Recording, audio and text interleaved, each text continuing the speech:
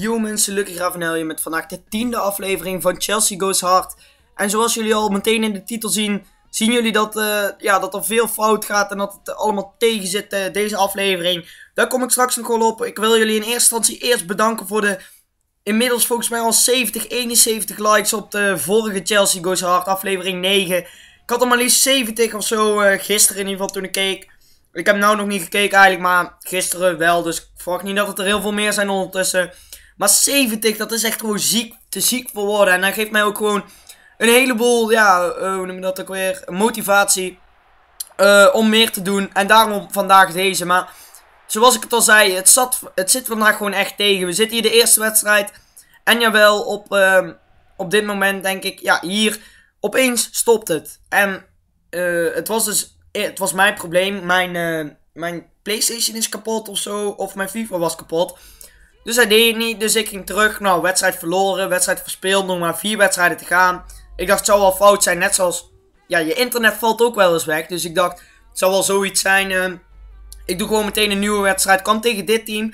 Leek me eigenlijk best leuk om een keer tegen dit team te spelen. Tegen, ik hoopte dat hij wat ging skillen en zo. Want dan, ja, je zult ook meteen zien. We gaan gewoon beginnen in, uh, vanaf de aftrap. Ik zag hij heeft een skill team. Ik dacht, ik ga even stoer doen. Kijk hier een beetje skillen met uh, Moses. Zo, hij doet helemaal niks.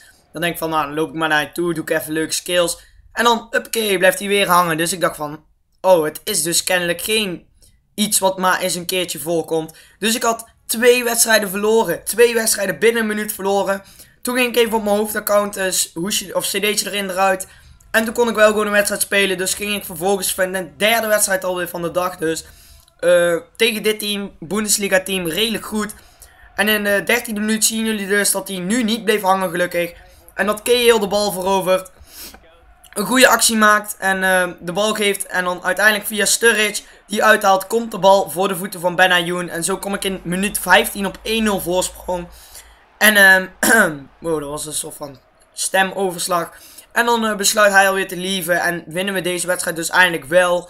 De eerste wedstrijd in 3 die we wel winnen. Redelijk makkelijk naar een rage quit van hem. 13 punten, nog eentje te gaan uh, voor pro promotie. En nog vier te gaan voor uh, de titel.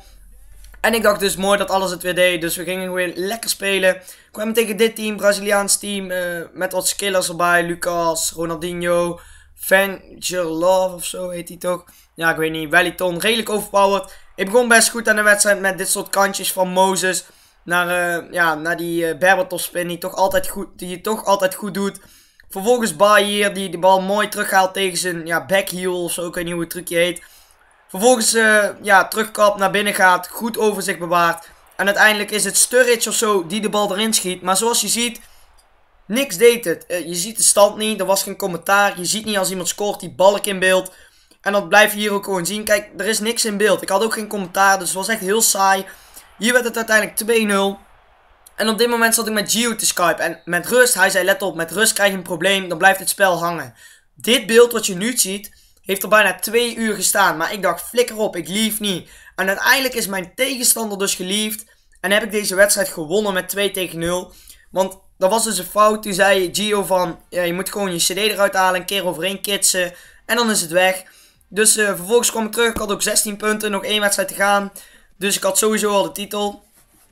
Uh, of nee, ik had sowieso promotie, de titel nog niet. Ondertussen hebben we de Ambrabats ook verkocht. Uh, 1400, 1200, 1000 en 1300. 5k winst ongeveer op die 5 spelers. Want vorige aflevering hadden we ook nog Asidi. En uh, ik ging dus voor de overwinning. Ik dacht dat hij het wel weer zou doen. Maar ik, ik had het toch niet zo slim gedaan. Want hier had ik er nog niet overheen gespuugd. Zoals hij dat zo mooi zei. Ja, je moet er gewoon overheen kitsen. Dan is het weg. Dus... Dat moet ik nog een keer doen. Of ja, dat heb ik ondertussen al gedaan. Maar hier dus nog niet. Ik dacht, hij zou het wel weer doen. Ik heb twee wedstrijden gespeeld. Maar jawel, in minuut 3. Ja, hetzelfde kutprobleem. Om het maar zo te noemen. Houdt er dus weer mee op. En dat betekent dat ik heb verloren. Ik kom terug. Ik zie, ja, je NV is naar beneden. En ik heb dus de wedstrijd verloren. Ik zit wel in divisie 1. Maar kijk, bam. 15.000 munten. En als je promoveert, dan hoor je 8.000 munten te kijken. Dus ik flipte hem echt. Vandaar dat we uiteindelijk hier deze overgang. En dan zie je opeens nog maar 9000 munten. En dan denk je, je bent er 6000 kwijt. Nee. Ik heb een uh, 8,5k overgezet van een andere account. Omdat ik het gewoon gefakt vond dat ik dit geld niet had. En ik denk dat dit wel zo eerlijk is. Ik had gewoon de titel, of ik had niet de titel, want dan had ik zelfs 10.000 munten gekregen, maar ik had wel de promotie. Dus ik heb eigenlijk nog gewoon, ja, het is eigenlijk nog meegevallen. Eigenlijk had ik 10k over kunnen zetten, maar ik dacht, doe maar 8,5, anders is het niet leuk. Je ziet hier dat ik een call heb gekocht voor 14k met 2, of 23 contract volgens mij zelfs. En uh, de goedkoopste buy now was ook nog gekocht voor 15k en 750 munten. En die had maar 11 contract. Dus ik kan zeker zeggen dat het een hele goede deal was voor mijn linksback. Mijn eerste speler boven de 10.000 munten. Ons team ziet er nou ongeveer zo uit. Ik heb een wissel op linksback, een wissel, wissel op centerback, een wissel op het middenveld en een wissel als rechtsvoor of linksvoor. Ik moet nog wel even een contract kopen met Malouda. Je ziet hier vier wisselspelers, dus al uh, de volgende speler die ik ga kopen is denk ik Petter Cech. Maar ik wil jullie vragen om te liken. Bedankt voor het kijken en later mensen.